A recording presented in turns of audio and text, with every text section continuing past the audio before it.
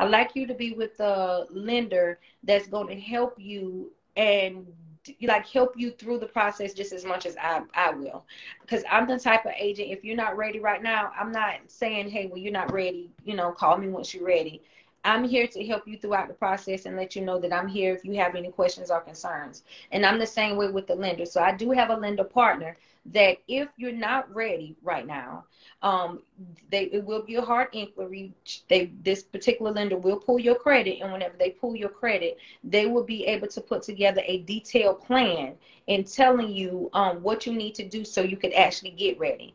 And what I like about it, she follows up with you, I follows up with you. We're both here if you have questions, because um, I'm not a credit expert at all. I know just the top of the service, but I do have a lender partner that can actually set you up on, on that plan. And if you follow those plans, then you'll definitely be where you need to be so she can go ahead and issue that pre-approval.